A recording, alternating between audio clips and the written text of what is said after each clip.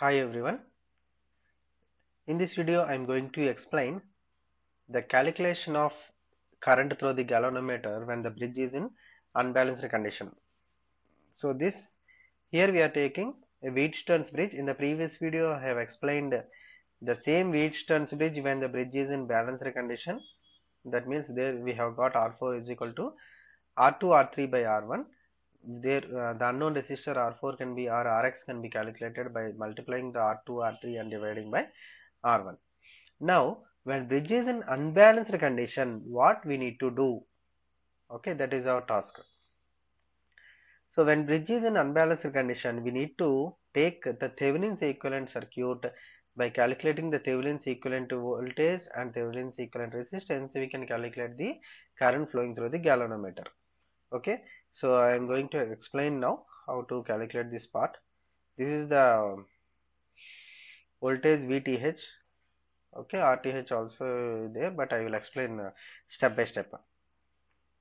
See now consider this circuit the same circuit. See if you have any doubt go to the previous video and check the circuits. Both circuits are same but here the bridge is in unbalanced condition.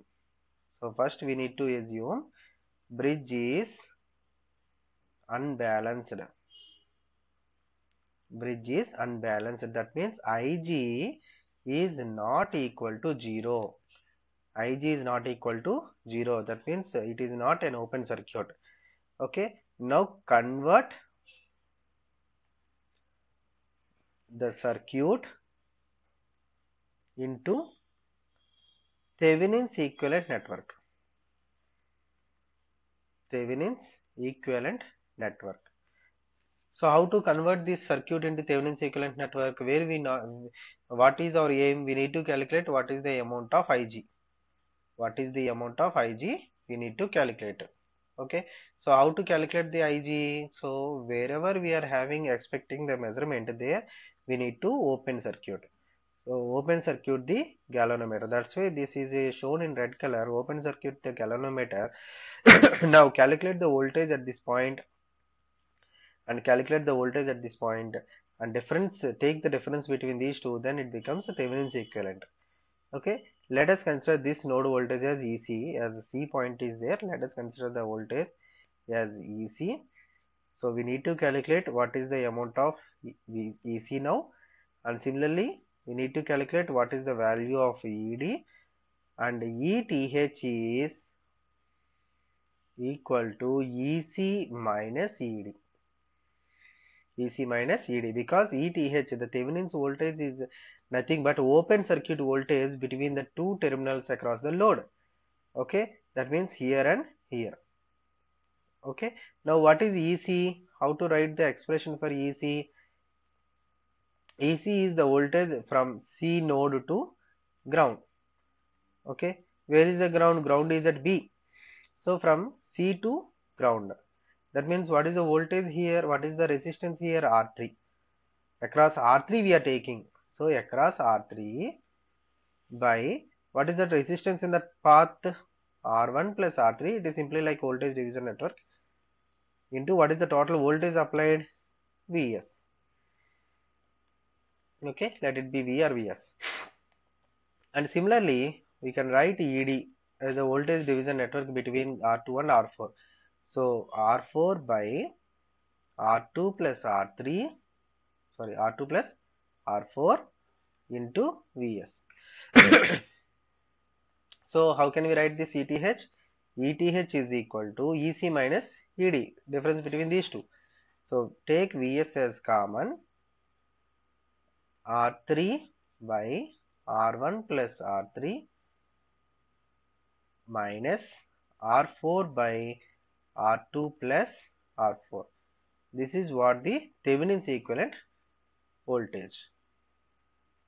Thevenin's voltage. So now we have got the Thevenin's voltage. Now how to calculate the Thevenin's resistance? Thevenin's resistance. Thevenin's resistance is nothing but RTH. How to calculate Thevenin's resistance RTH? Can you imagine how to calculate? between the same open circuit terminals here to here we need to take the RTH by short circuiting the current sources and open circuiting the sorry short circuiting the voltage sources and open circuiting the current sources. So by short circuit short circuit voltage source and open circuit current source. Open circuit the current source. So there is no current source in our circuit. No current source in our circuit and what about the voltage source? We have a voltage source that is vs is equal to 0 so what happens when vs is equal to 0 can you redraw the circuit? So redraw the circuit as it is. Later you can change. So here one resistor.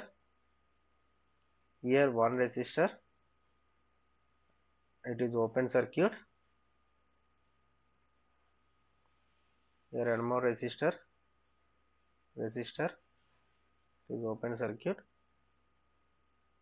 Okay. So this is the network. Now we are expecting the RTH in between these two. This is R1 R2 R3 and R4 now the same contact which is there from here to here between like A and B these nodes are A and B that can also be converted to this point. Okay? And take these leads this outside and this as outside like this. How can you draw the same?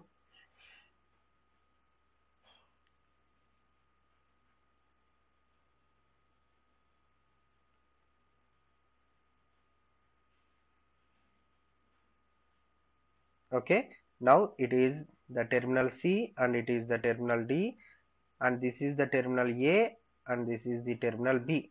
From this figure from this figure what happens? A and B are short circuited. A and B are short circuited because Vs is equal to 0 when we are calculating the resistance of the Thevenin's network you should short circuit the voltage source. Okay so A and B are short circuited. So as A and B are opposite to each other we can short circuit like this. Okay and this resistance is R1, this resistance is R3 and this resistance is R2 and this resistance is R4. So by seeing the circuit diagram, you can easily say R1 and R3 are in parallel, R2 and R4 in parallel and these two are again in series. Again I will redraw this circuit to have better understanding of how these resistors are connected. This is the resistance R1 and this is the resistance R2 sorry R3 and at this point we have one more connection that is R2 and here this is this point is D this point is C and this is the point where A and B are short circuited because A and B are connected together. So A and B are at the same point. And this is R4 now what happens? These two.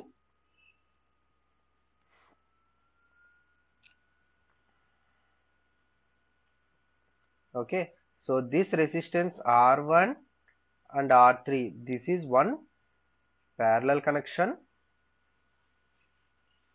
And again this r2 and r4 this is one more parallel connection. So how can you redraw this? How can you draw this equivalent network so this is R1 parallel R3 and this network is R2 parallel R4 this point is D this point is C. Okay. So again this can be redrawn as single network that is RTH therefore Thevenin's resistance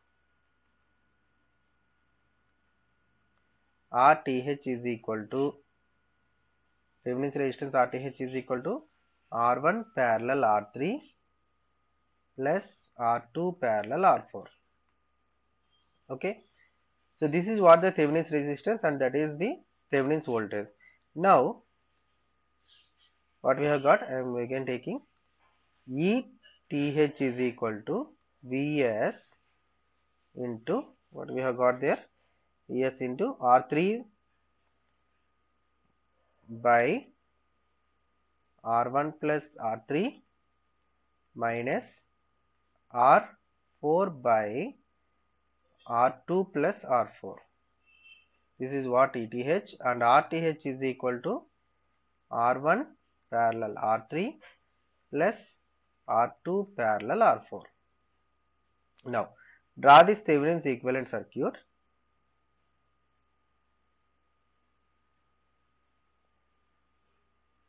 So, what is the Thevenin's equivalent circuit? You might have studied in uh, network analysis. Thevenin's voltage in series with the Thevenin's resistance. Now, here is the place where we need to connect the load. What is the load? Which one we have open circuited? That we need to connect it here. That we need to connect here. But is nothing but galvanometer. So, how to calculate this current IG now? IG is nothing but the current flowing through the circuit. so, Ig is equal to ETH by RTH. This is what the current flowing through the network. Okay. Suppose if the meter is having some internal resistance, that internal resistance will also be added. Sorry. Suppose if Rg is the internal resistance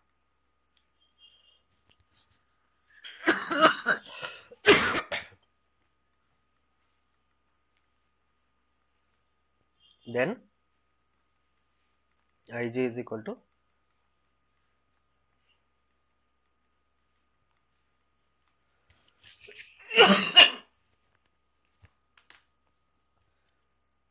so this is the measurement of current.